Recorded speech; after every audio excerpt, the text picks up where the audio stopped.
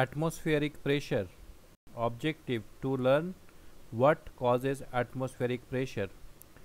The earth is surrounded by a layer of air called the atmosphere. We live at the bottom of this layer. This layer of air is the result of earth's gravitational pull on the air molecules near its surface.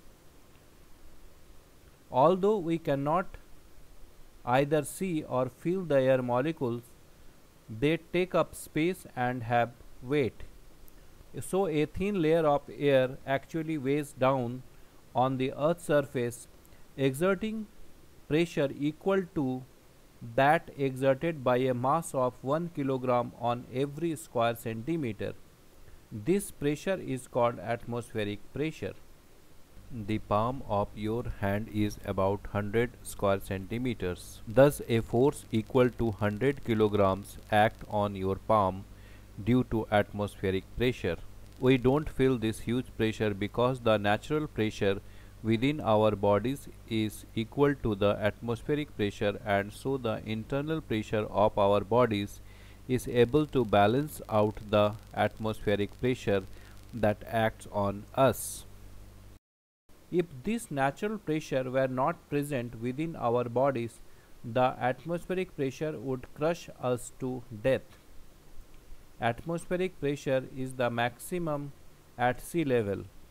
As we go higher up in altitude, the air becomes thinner and the atmospheric pressure decreases. Hence, to safeguard the passenger on an airplane, the air pressure in the aircraft is gradually increased as the plane ascends. This way, the people on board will not experience a great pressure change. Atmospheric pressure acts equally in all directions. Here is an experiment to prove it. Take a tin can and put some water in it. Now put the can on the burner of a stove. You can see steam coming out from the can.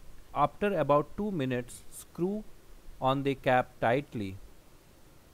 Now put the can in a trough and pour some cold water on it.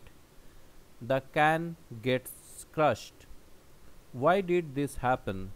Since the steam had expelled most of the air from inside the can, and since the steam inside the can has almost condensed, the bottle has very little air inside it. The atmospheric pressure acting on the can outside is much larger than the pressure from inside it. This causes the can to get crushed. To summarize, atmospheric pressure is the pressure exerted by air Atmospheric pressure reduces with height above sea level. Atmospheric pressure is exerted equally in all directions.